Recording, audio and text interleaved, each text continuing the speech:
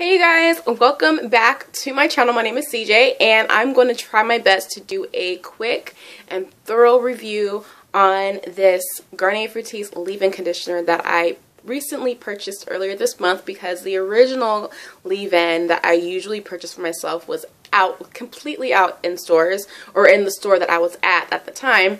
So yes I'm gonna give you guys a little bit of a review and comparison of the two and give you guys my final thoughts. So um so yes, I tried my best to find this original.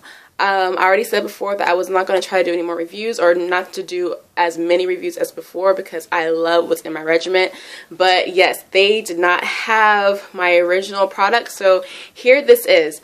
And this is the new Garnier Whole Blends um, Smoothing Leave-In Conditioner with coconut oil and cocoa butter extracts. Um, it's also um, paraben free and um, it's on the bottom it says generous leave-in treatment deeply nourishes to smooth and soften.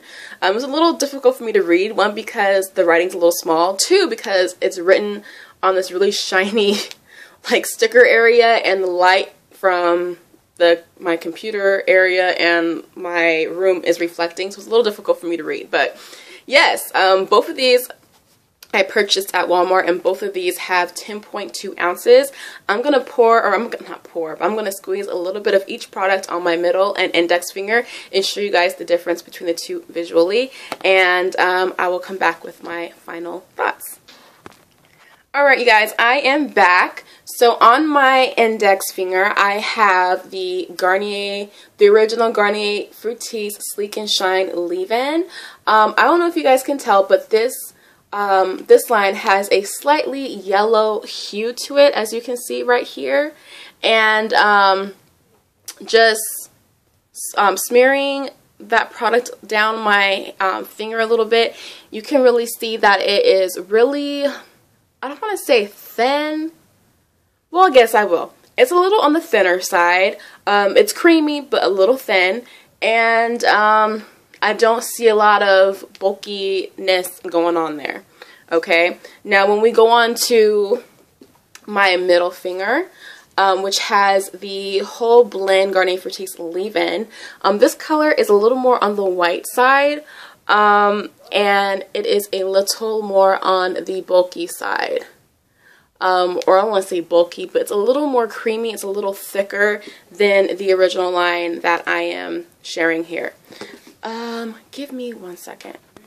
Alright, I'm back. I had to say goodbye to love my life. Okay, so I'm going to um, show you guys the product again once more by itself.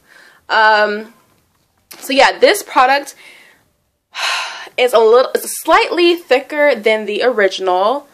Um, this is more on the slightly thicker creamy side. Um, so I like it as well. It's really nice. I don't need much of a slip for my leave-ins or any kind of conditioner, honestly, because I mostly detangle out of the shower before and after washing my hair. So having a conditioner with an amazing slip um, isn't all of that important to me. Um, if I had to compare slip-wise, which one ranks higher, this one definitely ranks higher in the slip. Um, only because this um, leave-in is slightly thinner than this one right here. Um, when it comes to the smell, um, these two um, products have a completely different scent from one another. This one is very fruity. There's apricot in here and a whole bunch of other really good smell good stuff. Um, to me, this has a very kick in your face, loud, fruity, um, smell good, feel good type of smell. Um, very girly, um, very loud, but very good. Like, smells really good though. I have nothing bad to say about it. I love using this product, especially when I'm in the bathroom or even in my room. Once after I use it, I can smell it in my room and it smells fantastic. I love this on my children's hair. Um, nice slip. Um, even though I really don't necessarily need it, it's still nice nonetheless. And it does moisturize my hair besides the smell. This really does moisturize my hair. Um, it just adds a little bit of an extra something that my hair needs throughout the week. And so yeah, um, I can definitely say the same when it comes to its moisture, despite this one not exactly having um, as much slip as the original line here. This one does moisturize my hair very, very well. I have nothing bad to say to, uh, about it when it comes to its performance. When it comes to the scent, this scent is very relaxing, very subtle. Um, it's very neutral. It says that it has coconut oil and cocoa butter. The coconut definitely reads through, whereas the cocoa butter, to me, in my personal opinion, um, really doesn't read through that well. Um, this also is mostly, to me, smells more like coconut oil and or coconut and um, shea butter. But that's just me. I probably just have a weird sense of smell, but it smells really great nonetheless. Um, so yeah, that is my review. I really do like this product. Um, I can't say which one I like. I can't say which one I like better because I genuinely like them both, or I should say I love them both.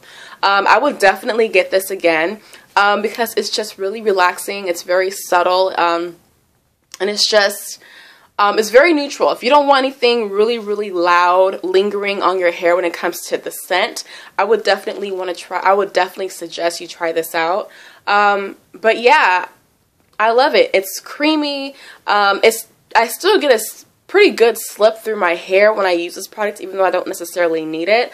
Um, but it's just a really nice moisturizing conditioner to use. It makes my curls pop, and yes, it leaves a white residue on my hair, but my hair is wet when I use it, and even when my hair is dry, I don't put a whole lot on it. But once my hair absorbs and dries, my hair is fine, and I'm fine too. So that is my review. I'm almost at seven minutes. I didn't mean to be this long, but yeah, this is my review in comparison of the two Garnier Fructis leave-in.